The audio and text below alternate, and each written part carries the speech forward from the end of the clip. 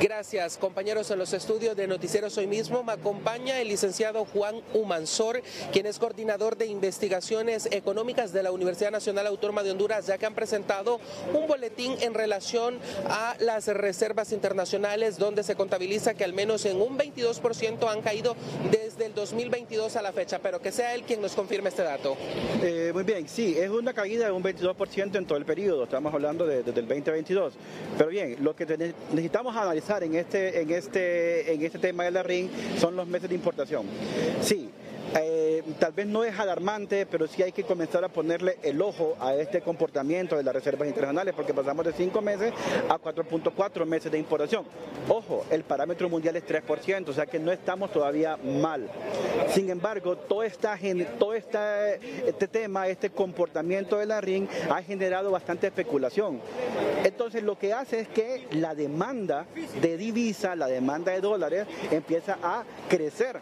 Entonces, ¿eso qué es lo que provoca? Provoca que entonces el Banco Central, para que no se levante el tipo de cambio, que nuestra moneda no se devalúe, lo que hace es que comienza a soltar desde las RIN eh, dólares para poder mantener el, un tipo de cambio. Sin embargo, todavía se puede hacer.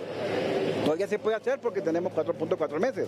Ahora bien, ¿qué es lo que me está provocando esa demanda de divisas? No, no es, no es eh, tal vez el, mercado, no.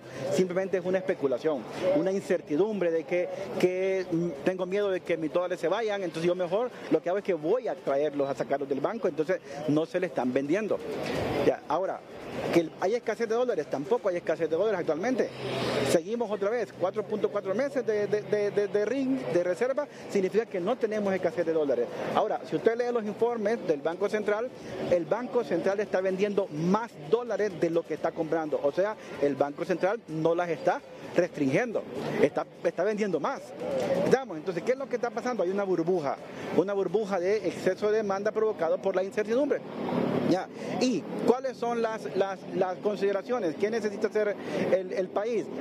Políticas económicas que incentiven los sectores productivos generadores de divisas. Por ejemplo, ¿cuáles serían estas políticas económicas? Tenemos sectores productivos, por ejemplo, granos básicos.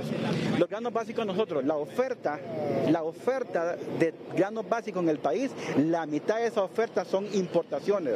Ojo, entonces, ¿por qué no implementamos políticas que aumenten la producción nacional de granos básicos para ya dejar de estar importando y dejar de estar gastando dólares en granos básicos? Entonces, hay muchos sectores en nuestro país productivos que generan divisas de aquí adentro. Entonces, hay que entonces hacer políticas encaminadas a este tipo de sectores. Entonces, a ese es un efecto de rebote.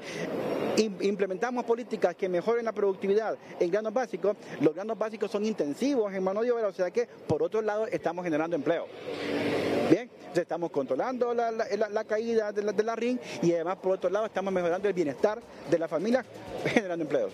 Bueno, muchas gracias al licenciado Juan Humansor, coordinador de investigaciones económicas de la máxima casa de estudios por esta información. Con este contacto retorno con ustedes a los estudios de Noticieros hoy mismo.